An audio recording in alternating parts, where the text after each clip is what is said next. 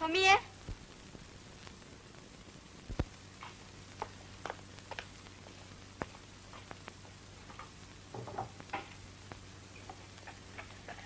おかえりなさい。今の人誰？あの。猫が来てたわよ。あらそうですか？お母様は？佐子さんとご一緒に橋本さんのお宅へいらっしゃいました。赤ちゃんが生まれたんでしょ？は何時頃帰るかしら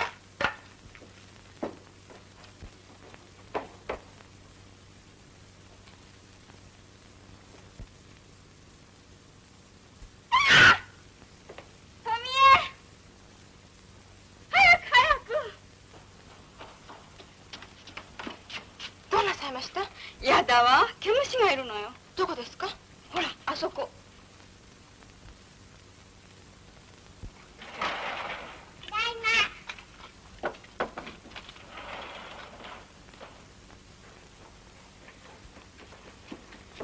おかえりなさい橋本のお姉様のうち赤ちゃんを見に行ったのよ。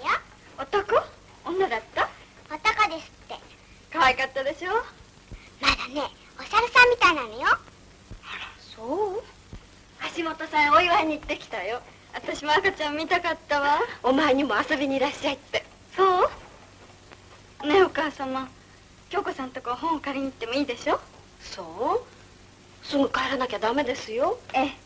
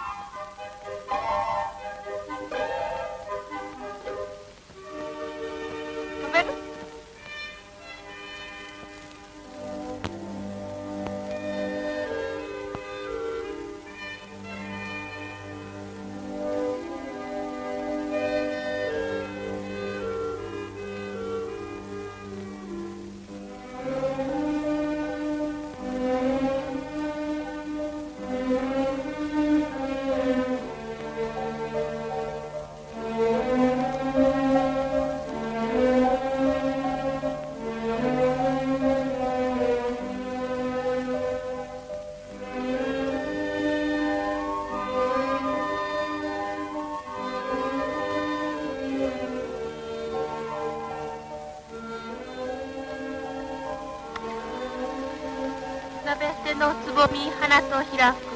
人麗しき五月の頃恋は開きぬ我が心に。もろどりのさえずり歌う。糸麗しき五月の頃我打ち明けぬかの人に我が憧れをした思いを。ちょうど今頃の詩だわね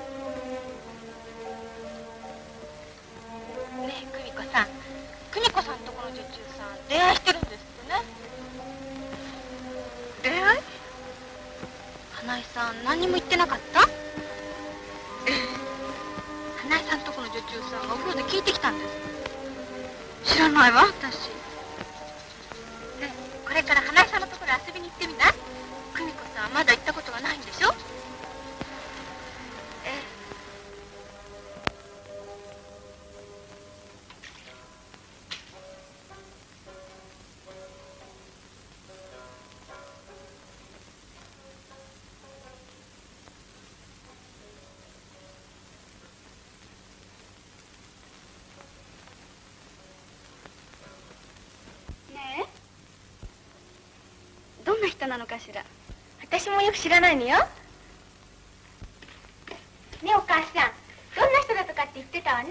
何がだい？ほら久美子さんとこの女中さんの。ああ何とか言ってたね。ブローカーってのかい？つまり闇屋さんだろ？ねえお母さん。恋愛って誰がしたって構わないでしょ？そりゃお前好きだっていうのをいけないって止めることはできないだろうからね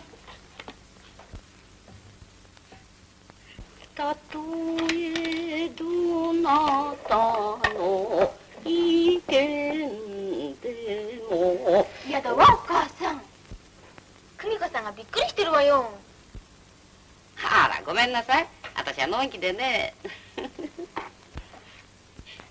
美子さんお上がり帰るわ。もう少しいいじゃないの？ねえ。あら兄さんたち帰ってきたわ。おかえりなさい。おかえりなさい。今日は珍しいお客様よ。広部久美子さん。うちの兄さんよ。それから根城さん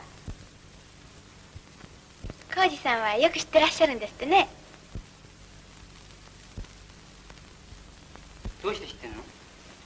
親父が久美子さんのお父さんと僕の友達なんだよ。僕たちね怪談雑誌やるって相談したんだよ。回覧雑誌？みんなで詩や小説や感想を書いてそれを閉じて回し読みするんだよ。まあいいわ君もなんか書くだろ？ねえ？え久美ちゃんもなんか書かない？私何もできないわ。何でもいいんだよ。表紙な女の裸体を描こうと思うんだどういう意味なんだよ青春の美の象徴としてさ。やだわそんなの。ねえ。そうよ。野代さんは絵が上手なのよ。裸体だって芸術的なのならいいでしょ誰だったか私に返してな。その人のうちじゃね裸体の絵や彫刻をたくさん部屋に飾っといて子供たちの小さい時から目に触れるようにしてやるんだってさ。それはね異性の裸体っていうものに変な興味を持たせないようにするためだってさ。変な興味を持つっていうのはその人間に下劣な気持ちがあるからなんだろ？うんそうだと思うな。明日の身体検査嫌ね。裸になんの？違うわよ。裸でどうしたんだって？野城さんが女の裸の絵を描くんですって。あら野代さん。なかなか隅を置けないわね。朝にやったらかなわないからな さあ上がりましょうよかみさんお客さんが見えましたよ。あそうかい。母さん弓矢の客なんかあんまりあげないでください。はいはい。久美子さん。語れめで島心。久しき昔の歌えゆかし調べよ久しき昔。なれ帰りのあうれし長き別れ歩めか。ねずる覚い変わらず久しき今も。ンララランラララ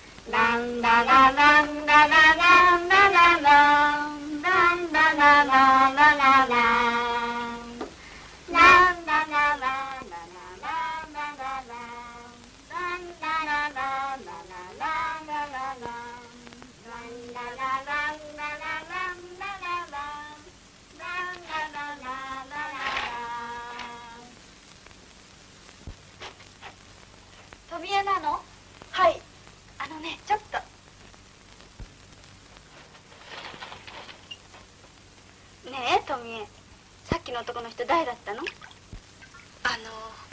石鹸はいらないかって売りに来たんです。闇屋さん？はあ。そう？いいわ。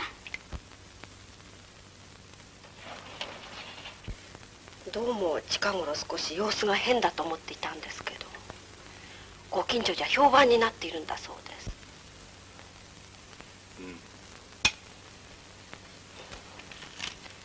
私の不注意ですけど。間違いを起こさないうちに暇を出すんだな。ええ。久美子もそろそろ年頃になりますしね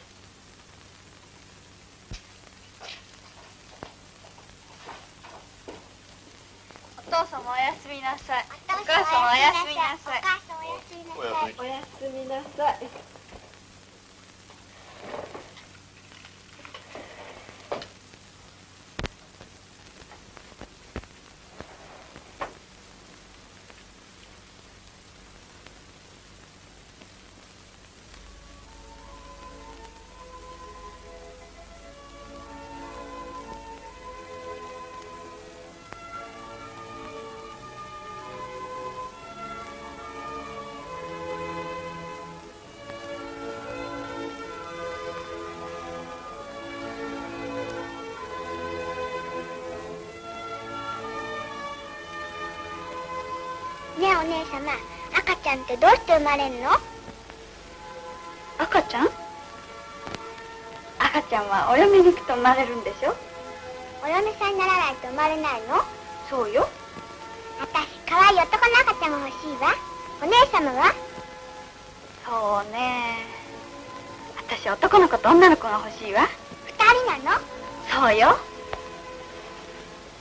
でも男の子も女の子も話し相手がないと困るわね。そしたらね男の子が2人と女の子が2人欲しいわ。じゃあ4人？そうよ。じゃあ私もそうするわ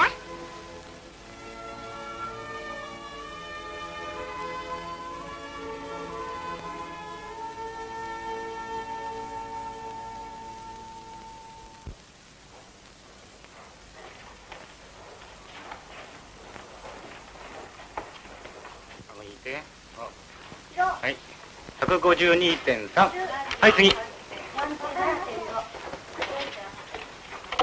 顎引いて。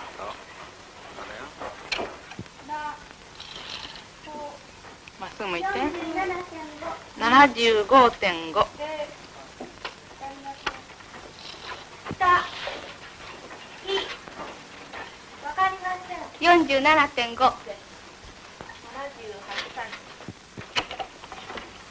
47.5顎引いて。そう。はい。150.3はい次。今日やかんのやね。なんだかくすぐったいわ。よしこさんのずいぶん大きいわね。いや誰だ？騒いでいるのは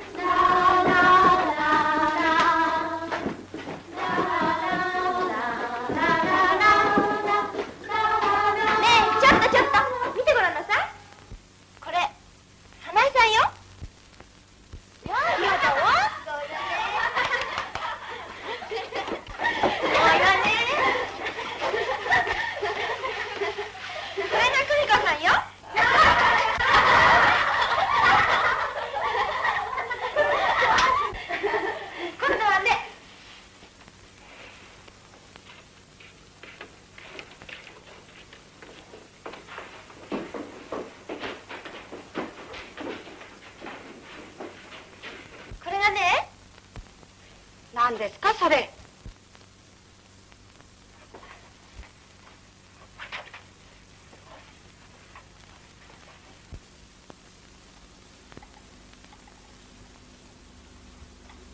あきこさん。どうしたの？今日。今朝ねとっても頭が痛かったもんだから。ずる休みでしょ？違うわ身体検査するんでええ嫌だったわ。ねえ。ちょっと本見てきましょうよ。ね。私今日早く帰るわ。昨日叱られちゃったのよ。そう？じゃあさようなら。さようなら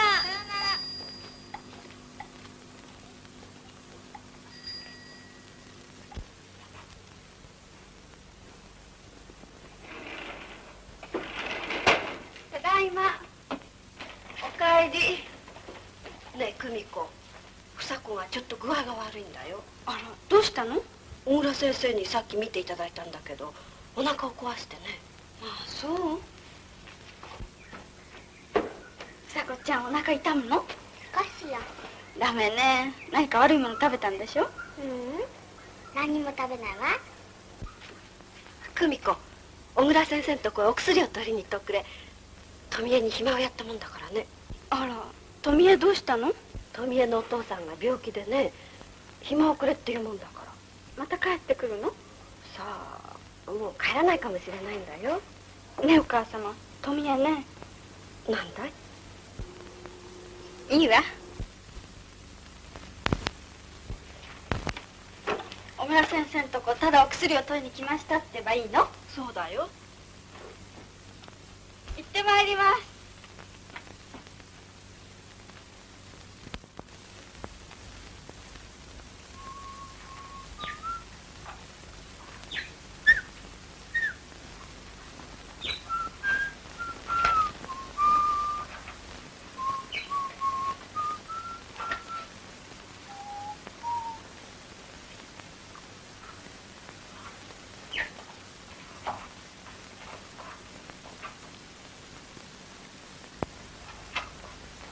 どうしたの妹の薬をいただきに来たのそうちょっと待ってね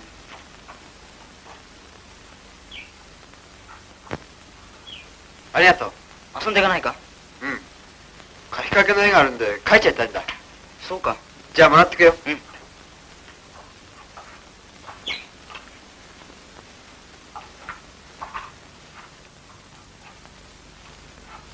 むしろねお寺の離れを借りて自炊してるんだよまあ大変ね薬持ってきてあげるね。すいません。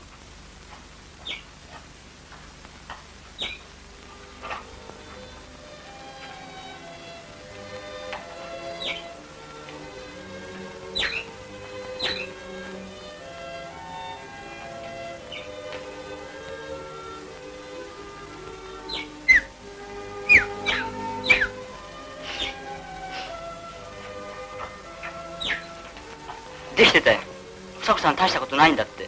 親父がそう言ってたよそう？すいません。僕本屋行くからそこまで一緒に行こう。ええ。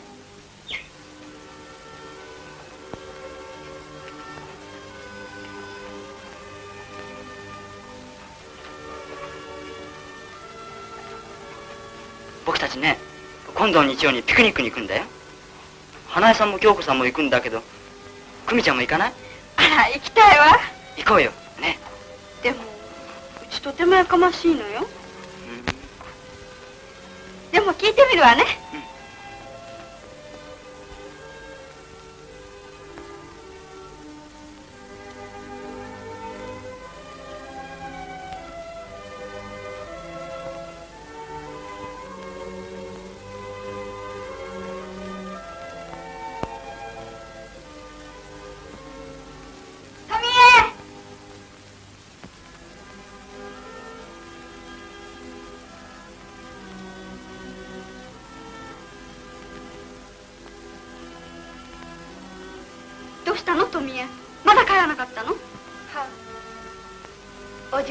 ろいろお世話になりました。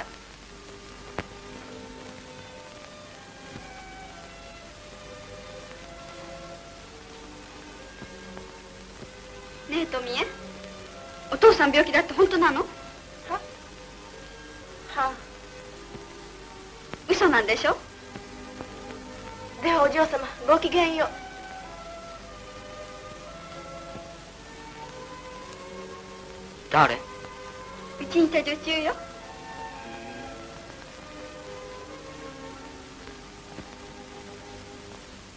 あの人恋愛してるんですって。恋愛？ええ。評判なんですって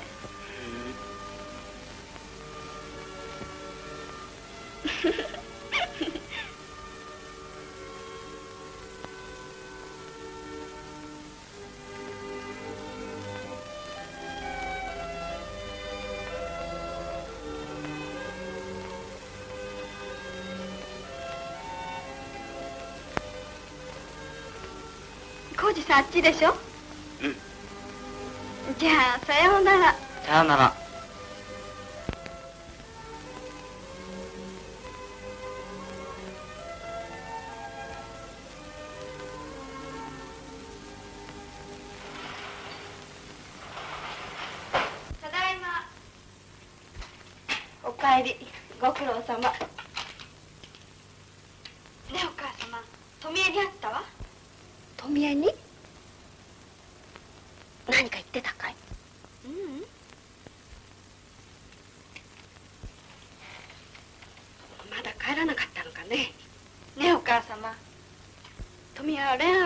んですってね。お前誰からそんなこと聞いたの？友達からよ。そんなことありませんよ。でも女中が恋愛したって構わないんでしょ？いけませんよそんな不死だらなこと。不死だらって？女はお嫁に行くまでは間違いがあってはいけないんですからね。恋愛って間違ったことなの？お前はまだそんなこと考えるのは早いんですよ。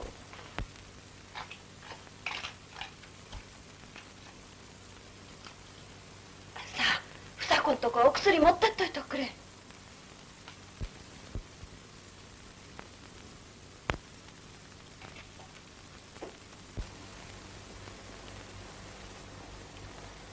えお父さん。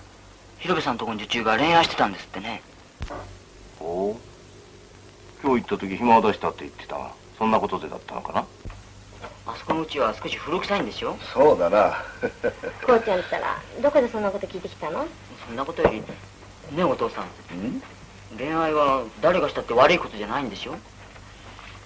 それはもちろん正しい恋愛ならね。正しいってどういうんです？そうだな。理性や良心の判断があってというのかな？でも理性や良心の足りない時だって愛情はあるんでしょ？そうだよ。そこが難しいところだね。実際には愛情というものは理性なんて無視することがあるからね。簡単なようで難しい問題ですね、浩二は近頃急に大人びてきて。まだ早いわよそんなこと考えるの。勉強が大事よ。ちお嫁に行くと思って大人ぶってやら なんです浩二その口の利き方。お日様。ランララランララランララランランララランランラララン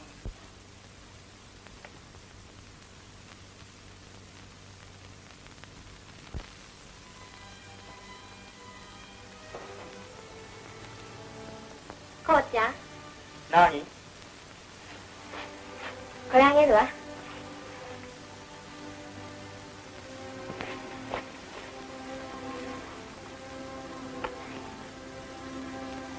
これが形見かい？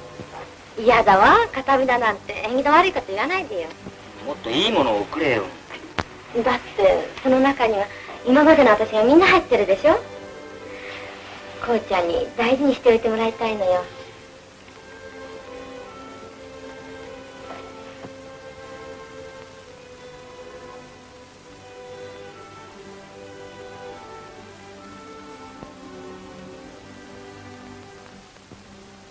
え姉さん。どうしてそんな平気な顔していられるの？平気な顔って何が？だって僕姉さんがよそのうちの人になっちまうんだと思うと。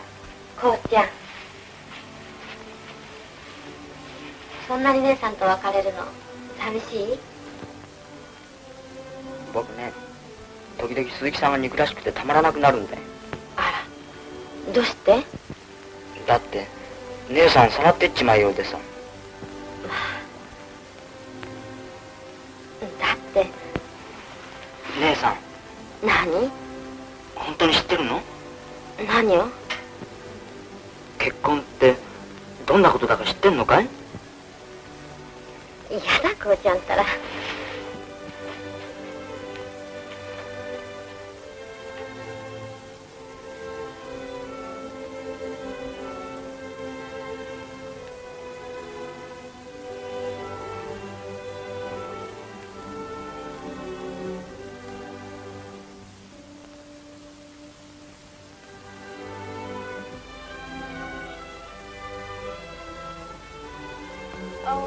熱の君が目のほのぼのわれを見つむれば心そぞろに夢見つつ言葉もいでじわが口。ゆ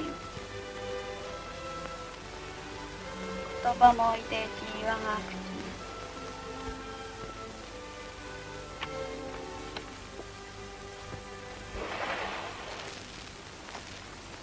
口。まだ勉強かいええ。もう遅いよ。ええすぐ寝るわ。母様。今度のお休みに京子さんのとこ遊びに行ってもいいでしょ？少しはお家のお手伝いもしなければダメですよ。今度だけ。ねえいいでしょ？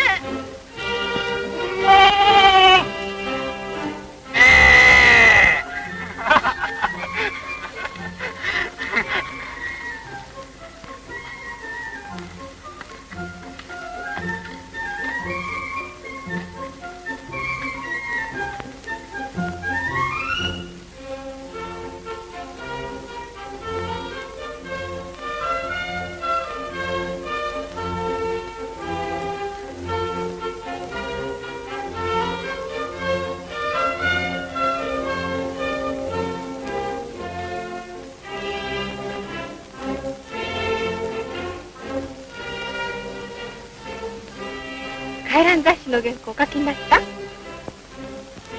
僕ね死ということについて論文を書こうと思ってんだ。人間が死ぬこと？花も死ぬそう太陽だっていつかは死ぬのさ山へ来ると自然はこんなに美しいだろ？罪も悪もないような世界だろ？でも僕は美しい自然の中にいるとなぜだか死ということが考えられるんだ。どうして人間は死ぬんでしょうね？君だって死ぬのさあなただって死ぬんでしょ？そうなんだ。それならどうして不滅と思えるものがあるんだろう？そこに何か秘密があるのね。だから不滅の死というものがあるはずなんだよ。とても美しい死が。君の死なんかきっと美しいだろうな。どうして？ねえどうして？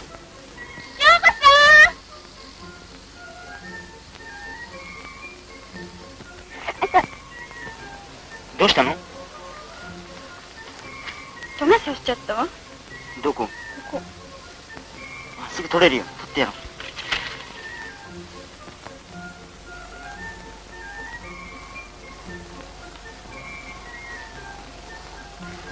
取れて。とてもいいとこ取ってあげた？私も取って。取ってあげる。浩二さん一緒に取ってね。二人でかい？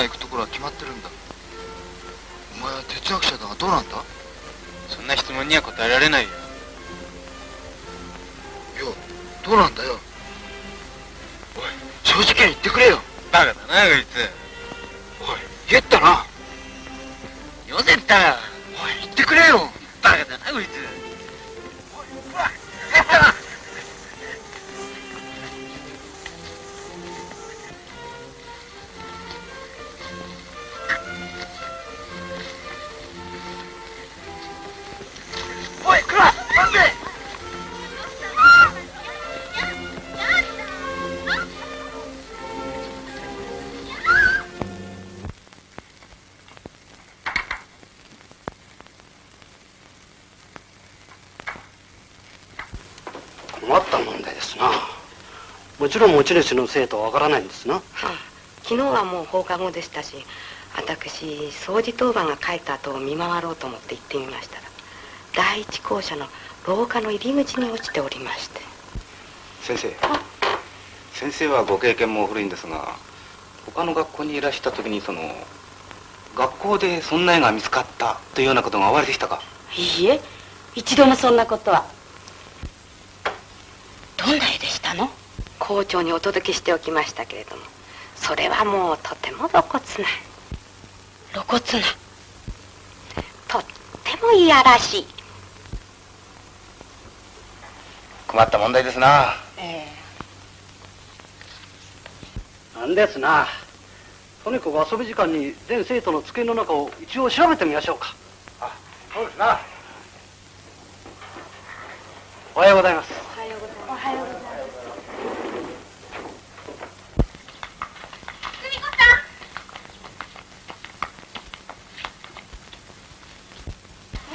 ねこの間のピクニックの写真できたのよ。見せて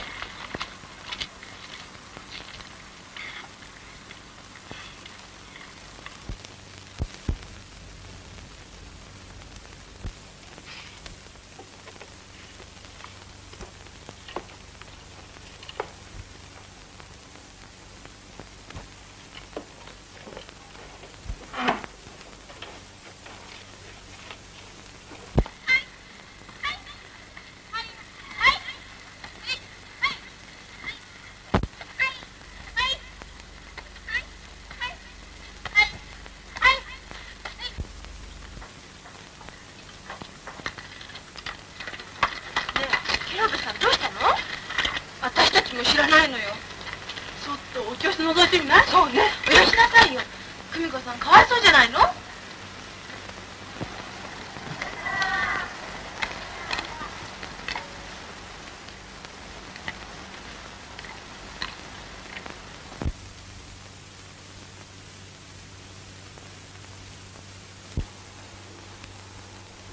あなたと町井さんと竹村さんと竹村さんのお兄さんとそれから？野代さんと小倉さんとそれだけで行ったんです。小倉さんっていうのはこの人なんですね。ええ。二人だけで行ったんじゃないんですね。それじゃあ写真を撮る人がいません。いいいえ。この時だけでなく特にこの人と仲良くしてるっていうことはないんですね小さい時はとても仲良くしていました。そうですか。お家同士は知ってらっしゃるんですね。ええ。この本はあなたんですか？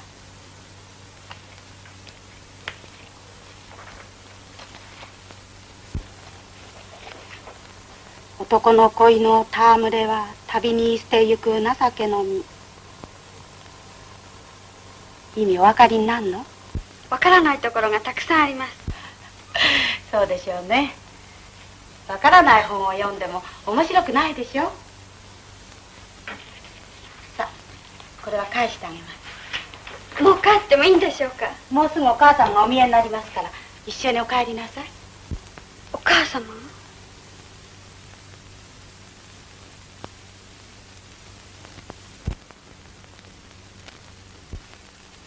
何も二人きりで遊びに行ったというわけじゃなしそれほど心配することはないんじゃないかね。いいえ京子さんとこ行くなんて嘘をついて行ったりして。そういうことがだんだん間違いのもとになるんです。それに学校でいやらしい絵が見つかったなんて私急に怖くなって。うん。どうしたらよろしいんでしょうね。まあ急にというのもなんだがね折を見てお前からそれとなく体のことについて話してやるんだね。私そんなことは言わない方がいいと思うんですけどかえって変な好奇心でも持たれたら困りますし。こちらでは田植えが始まりました。私は苗運びをしています。ツバメが私のすぐ目の前を行ったり来たりします一日中手伝いをして。少し静かにしていて。お姉様どうしたの？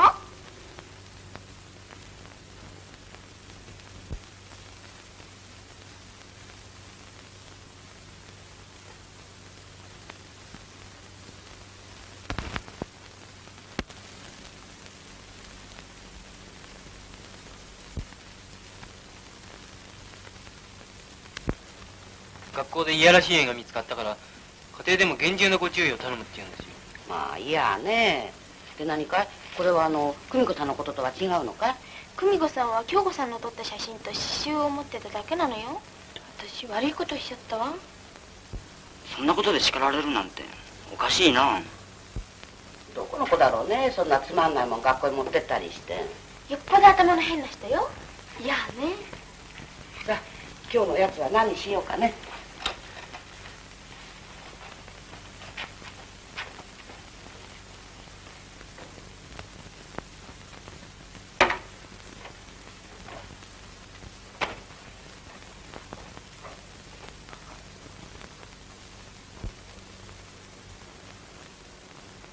ねえいやらしい絵ってどんなのかしら私も知らないわ。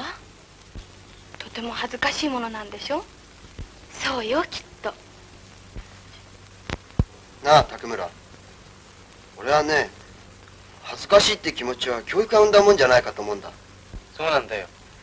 現代の人間はねそれは非常に進歩してるけどある点ではつまり性の問題なんかでは逮捕してんだしさ。兄さんよしましょうよそんな話。おいキャッチボールやろう。よし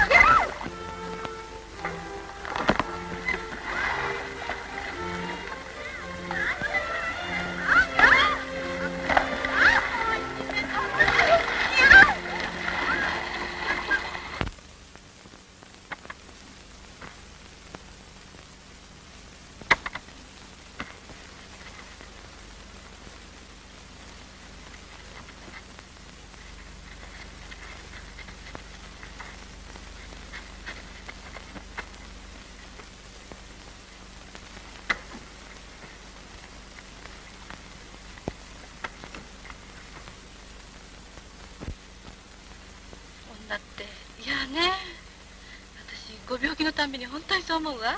私も男に生まれたかったわ。男ってただ威張ってればいいんでしょ？あらだって男女同権よ。女だって勉強すれば偉くなれるわ。でも女は赤ちゃんを産むんでしょ？とっても苦しいんですって。嫌だわ。私やっぱり男がいいな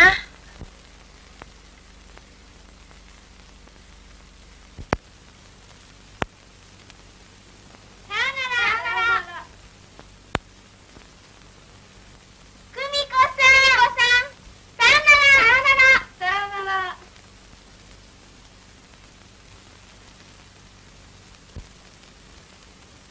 久美子さんなんだかかわいそうね。お母様にずいぶん叱られたらしいわ。私に病気になっちゃいたいって言うのよ。まあ嫌だわ。とてもかわいそうだったわ。あんたは私ん家生きても叱られないの？どうして叱られんの？そうね。叱る方がおかしいのね。うちのお父様やお母様とても理解があるのよ。どんな詩や小説を読んでいたって何にも言わないわ。うちのお母さんだっていいわよ。私が小倉さんが好きだって言ったらそうかいって平気な顔してんのよ。あら。でも好きだって口に出して言ってるのは大丈夫なんですって。どういう意味かしら？わかんないわ。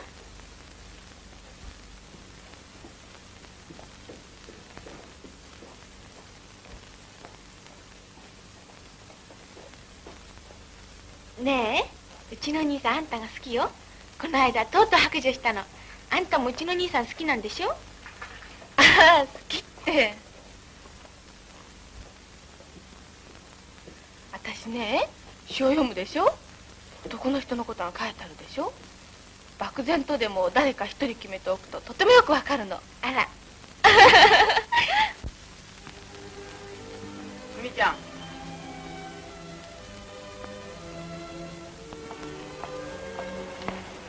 今帰り？ええ。コシさん今日は早いのね。今日早引きしたので。姉さんがお嫁に行くんで。あら今日だったの？僕も人力車に乗せられるんだよ。とても嫌さ。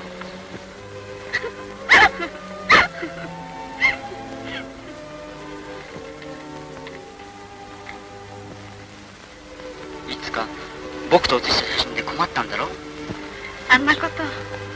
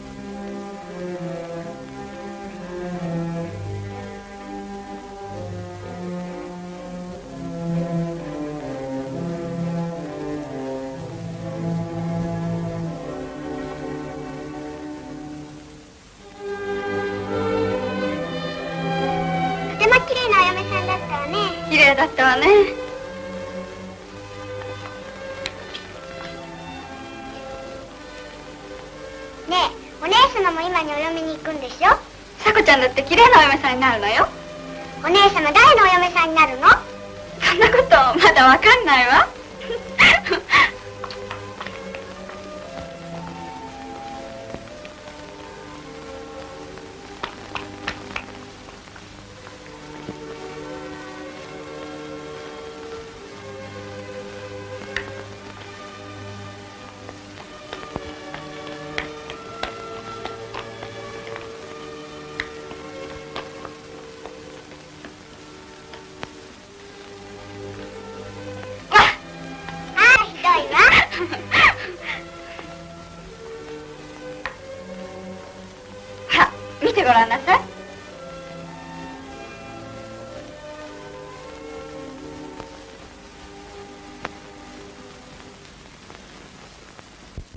中がいなくて大変でしょ？でも帰って気が楽よ。変な子だと困っちまうんでね。もう久美子さんも大きいんですものね。そうですとも。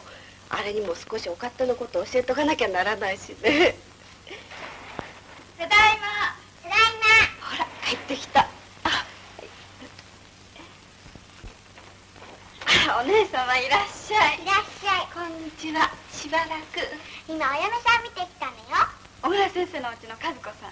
ああ今日だったのね。綺麗だった？とても綺麗だったわ。まあ可愛いわ。ねえお姉様抱かせて。おやしなさい。危ないよ。大丈夫よ。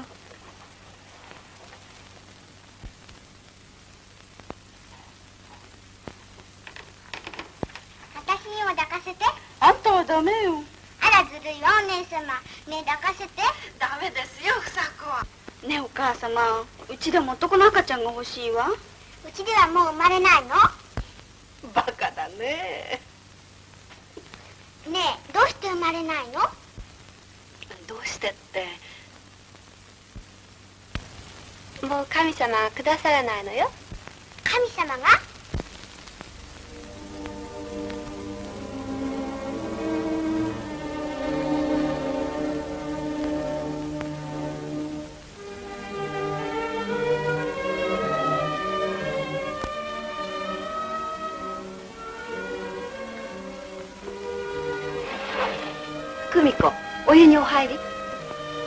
も眠くならないうちに一緒に入っといて。あさこちゃん。さこちゃんは後でお母様と一緒に入りなさいね。どうしてなの？どうしてでも。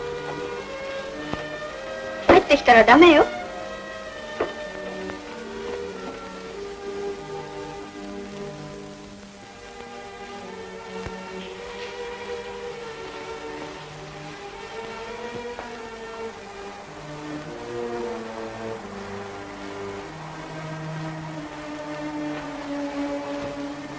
これどうだろう？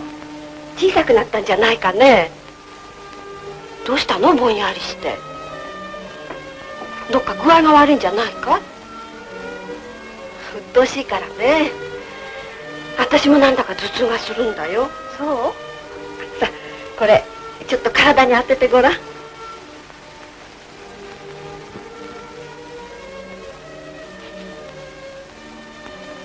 っぱしだいぶ小さいねそんなに大きくなったのかね。嫌よそんなにジロジロ見て。みんな縫い直さなきゃダメだね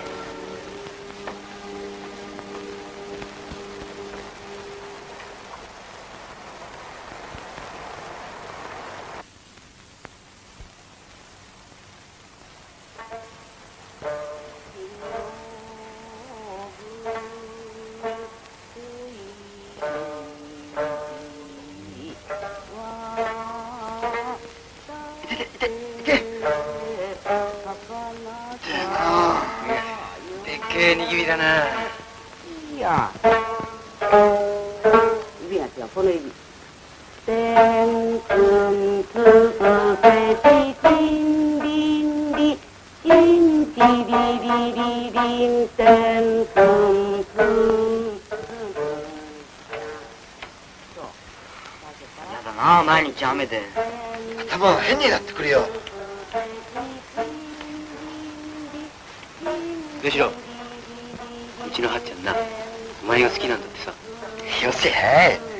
本当だよ。この間そう言ってたぞ。くだらんこと言うなよ。嘘だと思ったら聞いてみようか。バカだないいかはっちゃんうせよ何ですか君能代が好きだっつったろ？あ能代さん？ええ。それ見る？能代もね君は好きだってさ。よせ。まあそう？嬉しいわ。ねえ能代さん本当？嘘だよそんなこと。ねえ能代さん。ねえ能代さんあ何を騒いでるんだね。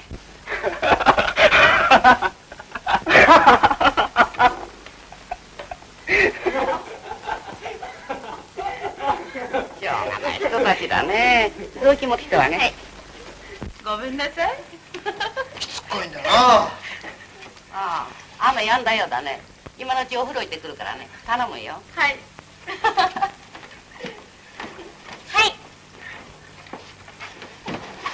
能代さんったらだらしがないのね。あんなのかなわねえよ。どうしろう。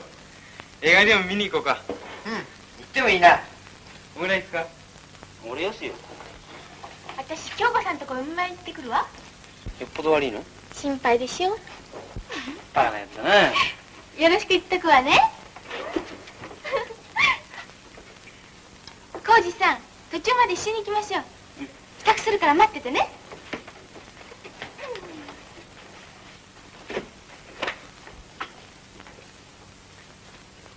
おい俺たち先行くよ。あじゃあ。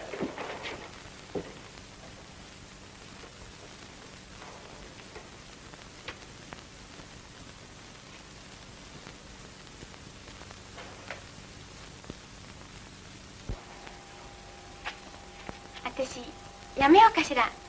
京子さんそんなに悪くないのよ。どこ悪いの？頭痛がするんですって。ねえ浩二さん。遊んでいかない？僕は帰るよそう私やっぱり行くわ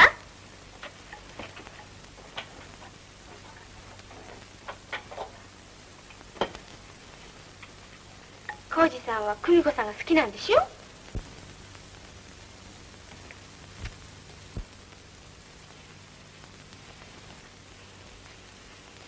久美子さん綺麗なんですものね。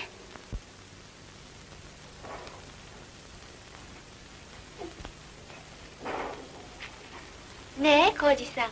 女の武器って何はっちゃんと私に女は女の武器を大事にしなきゃいけないって言うのよねえ何のことなのそんなこと知らないよ。まあ怖い顔。食べ過ぎてはいけませんって。叱る時のお医者様みたいよ。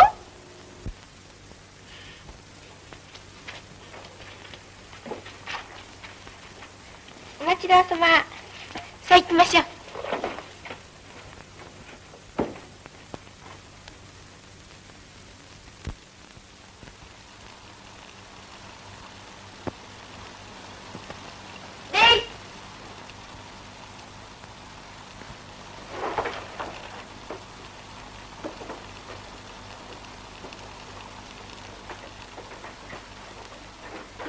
久美子さんどうだったあらどうして優しかったじゃないのね。私一生懸命勉強してきたんだけど。明日は数学でしょ？うちいらっしゃいよ。兄さんたちに教わりましょうよ。でも。浩二さんも来るわよ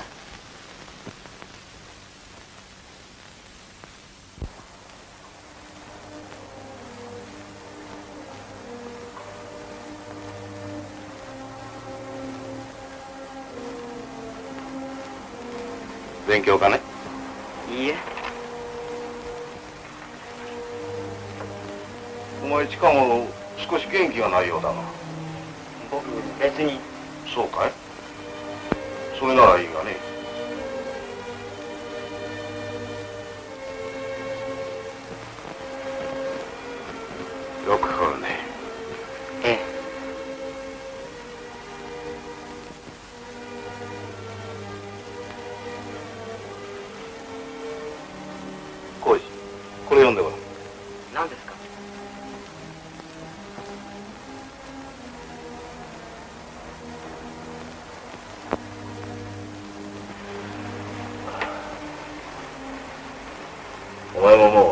もう大体のことは。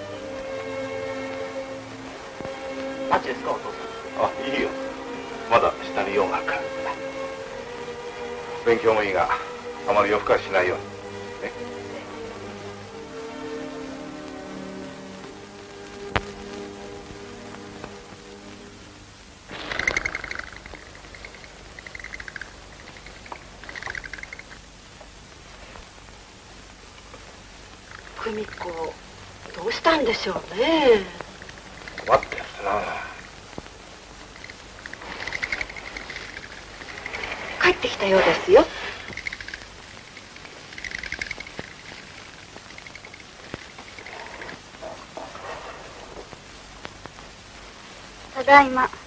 久美子。京子さんのとこで明日の試験の勉強していたんで。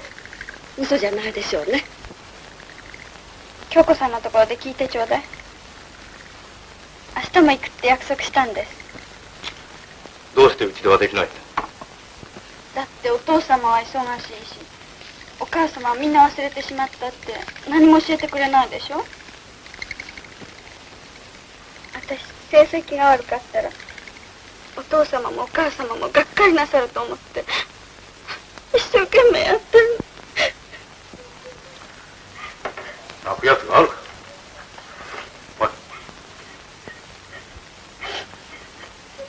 早くご飯お上がり。お腹すいたでしょ？すぐ食べるかい？でも着替えてからにする？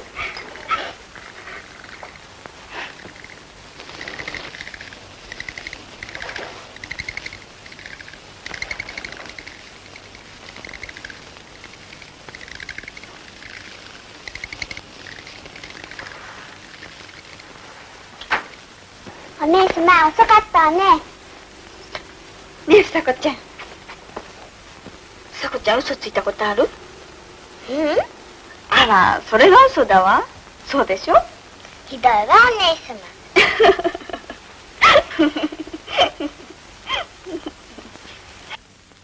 家庭教師でも頼んだらよかったんじゃないかね。でも成績はずっと良かったもんですからまあはあまりやかましく言わないようにしといてやるんだね。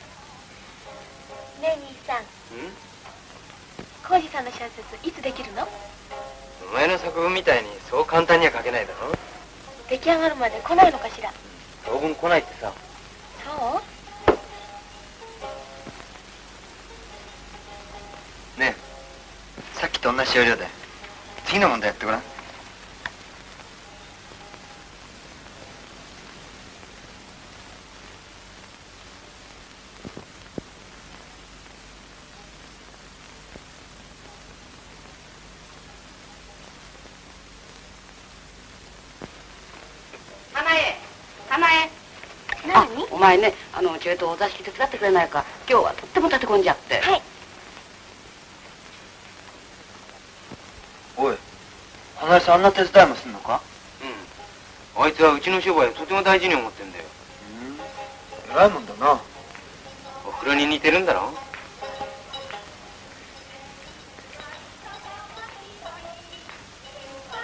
けやってやら箱根の山は天下の剣。韓国からも物ならず。嫌だわ勉強の山ねえ。随分バカにしてるのよ。どうしたんだ？ねえお客様が座れって言うから座布団の上座ったのよ。そしたらねそこには今まで俺が座っていたからお前は俺の子供を産むぞって言うのよ愚劣なこと言うやつだな。面白いじゃないか。そういう時にはな花江言ってやんだよ。女が座った後に男が座ったら男が子供を産むんですってねって。嫌だわうんバカバカしい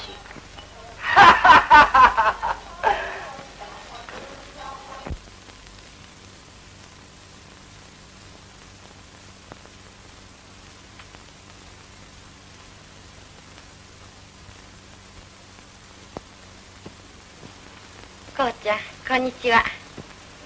あ姉さんいらっしゃい。元気、勉強、何？なんでもないよ。おかしな人。もうじき休暇ね。どっか行くの？まだわかんないよ。姉さんたちどっか行くの？行かれそうもないのよ。どうして？円満なのかい？嫌だわ生意気言って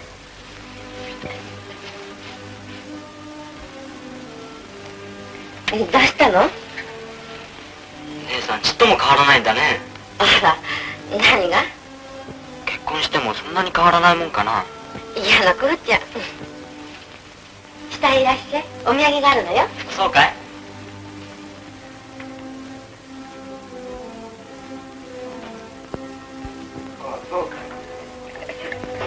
お父さんこんにちは。ねいらっしゃい。仲良くやってるそうだね。お 父さんは赤ちゃんはまだかいなんて気の早いことおっしゃってるんだよ。さあ今日は何をご馳走しましょうかね、うん、たくさんご馳走してやってくれ。はいはい。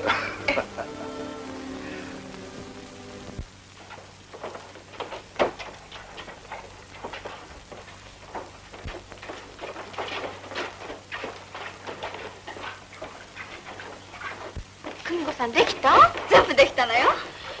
私2番目の問題が少し怪しいのよ。私のよ。野代さんがねこれが出る。これが臭いって言った問題がみんな出ちゃったのよ。あらよかったわね。あの人ね中学校時代から試験の山をかける天才なんだって。兄さん言ってたわ。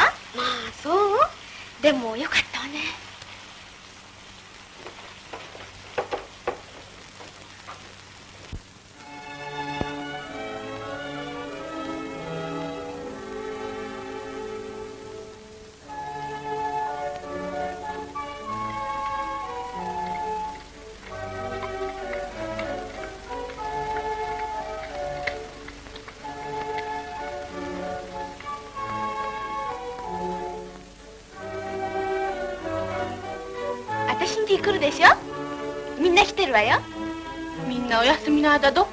かしら。兄さんたちキャンプ行くって言ってたわ。京子さんどっか行くの？私お母様や弟たちと野尻湖行くかもしれないの。あなたも一緒に行かない？行きたいわ。栗子さんも行かない？行きたいわ。兄さんたちもそこへキャンプに行けばいいのにね。そうね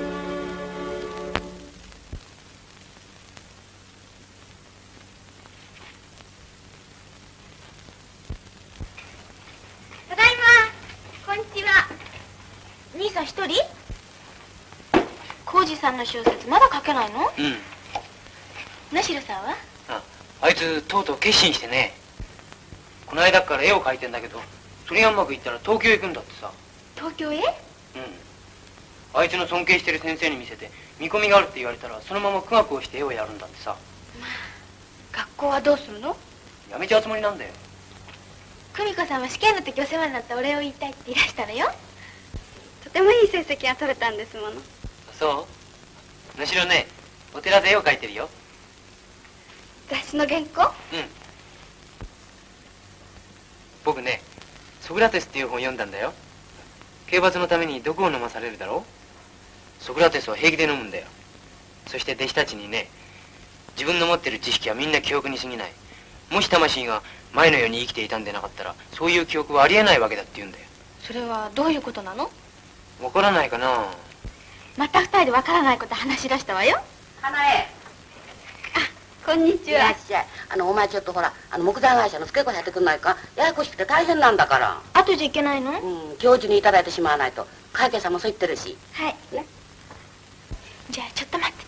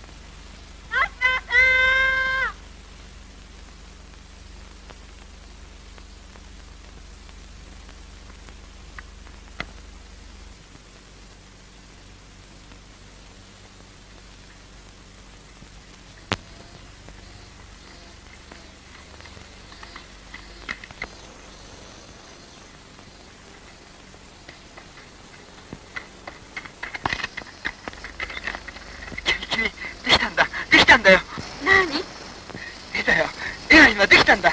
私ねあなたにちょっと。あそこにあるんだ。見てくれ。だって。これね誰かに見てもらいたいなと思ってたんだ。そしたら君がいるじゃないか。私ね。これね出来上がったら自分がスーッと消えてなくなっちまったような気がしたんだ。それから暴れ回りたような気がしたんだ。草の上を一人で転がり回ったんだよ。見てくれよ。だって。見てくれったらおいでった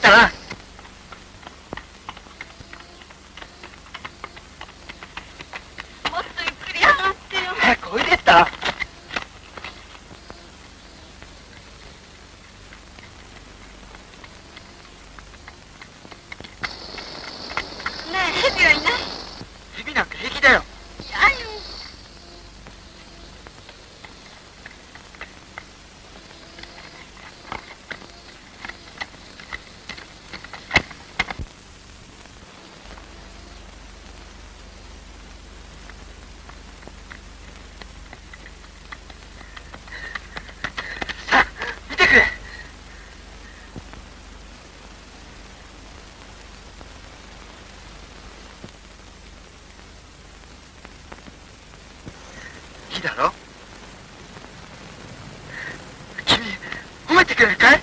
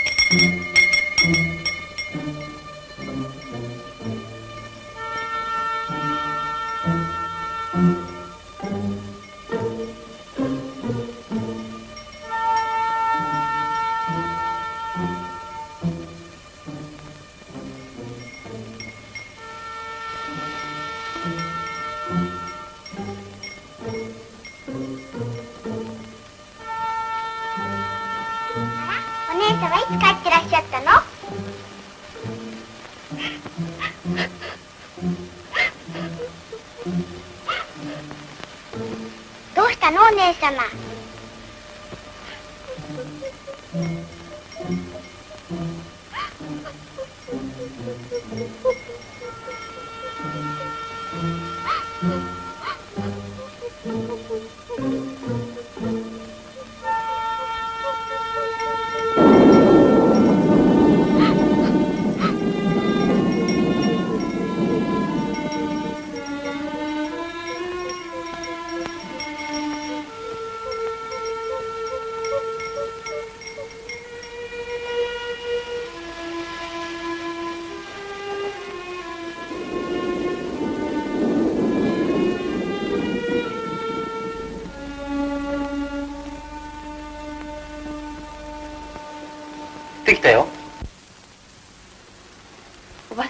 ばさんや花井さん困るでしょうね。貸金を集めに歩いてんだからね。どこにいるかわからないしな。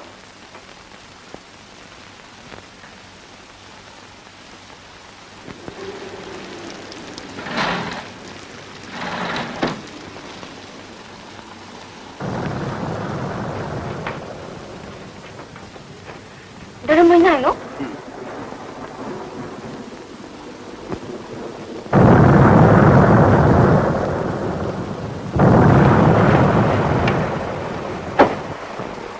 怖い嫌いだわ理不尽やないな。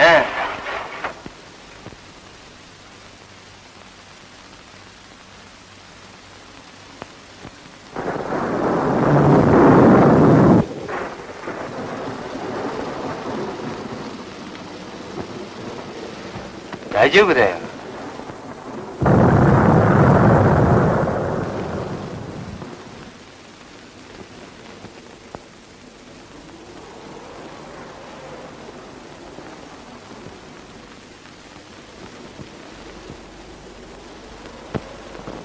ここへ落ちたら二人とも死ぬのね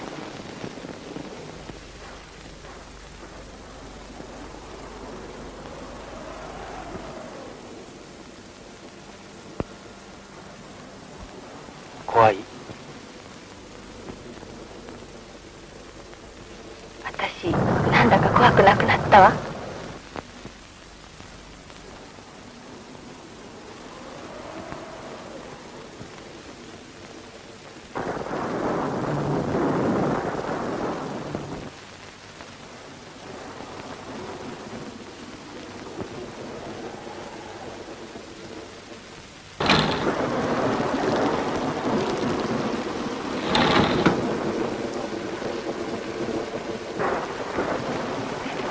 なさいただいま。お母さんは？後からすぐ来るわ。困ったろ古川さんとこで傘借りてきたわ。それより兄さん大事件。なんだよねえ京子さん愛子さん妊娠したらしいんですって。妊娠？明子さんってお前と同級生のかええ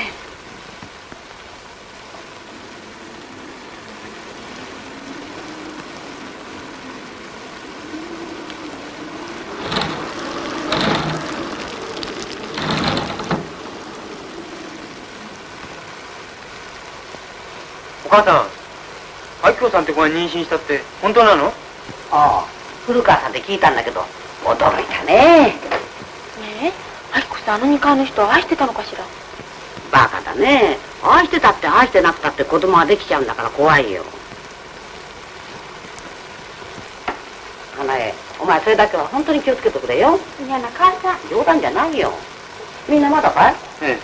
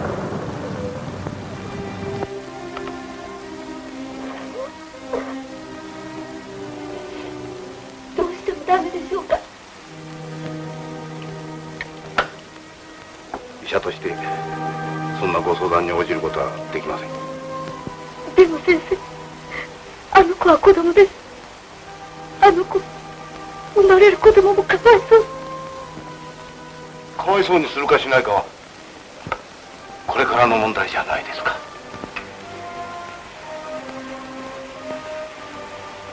その方と結婚させるなり。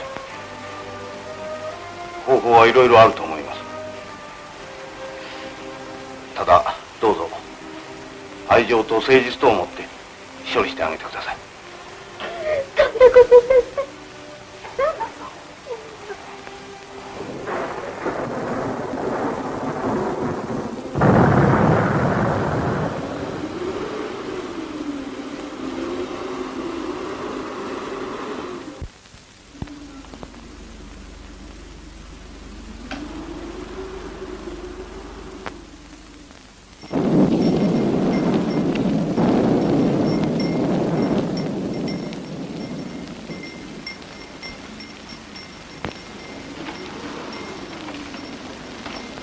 どうしたの久美子ねえどうしたのねえお母様なんだい？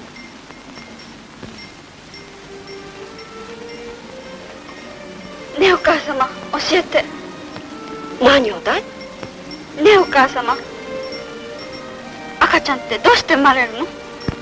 まあ何かと思った。らね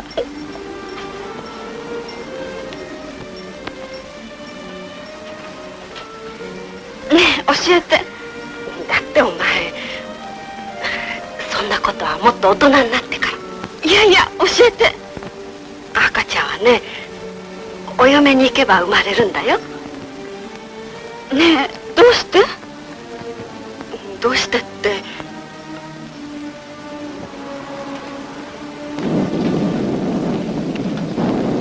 ねえどうして？お母様言ってちょうだい。久美子。叱っちゃ嫌よ。叱らないで話してちょうだい今日はどうかしていますよ。今度ゆっくり話してあげます。いやいや今日でなくちゃ嫌よ。久美子。私には上手に話せないんだよ。そんなにお母様を困らせるもんじゃないの。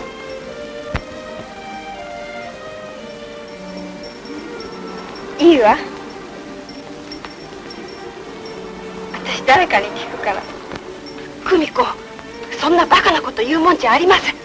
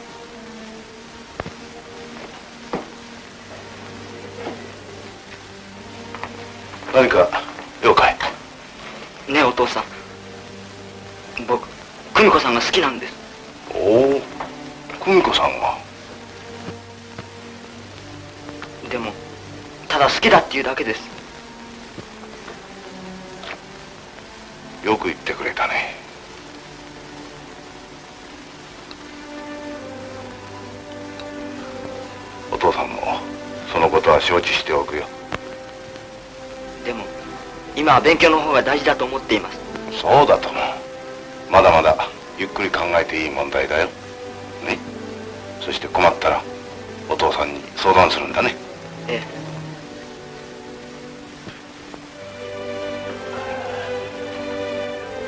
この休暇中はどうする？竹村とキャンプに行きたいんです。そうかい。それはいいだろうとにかく体を鍛えて勉強することだ。えおうすっかり晴れた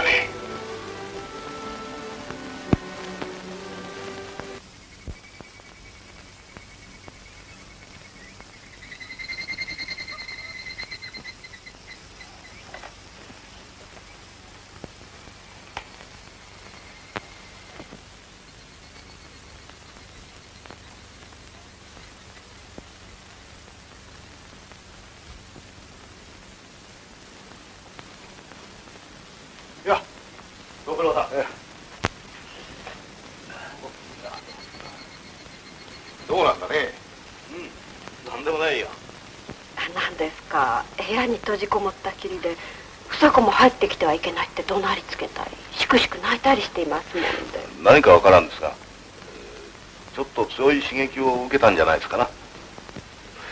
強い刺激？ものに一番感じやすい年頃だからね。うん。広部君。実はもう町でだいぶ噂に上ってるそうだから話すが久美子さんと同級生で妊娠した娘がいるんだ。妊娠？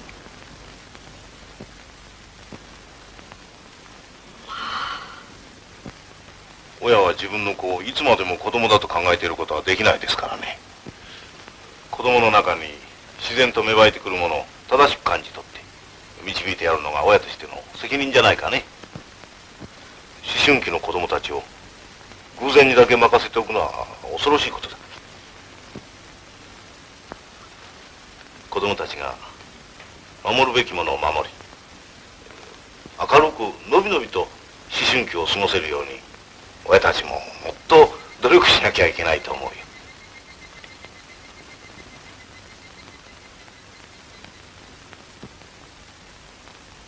お姉様狐はホックス馬はホースウサギは何いびきを引いたらわかるでしょ？子供はうるさくて嫌お姉様はもう大人なの？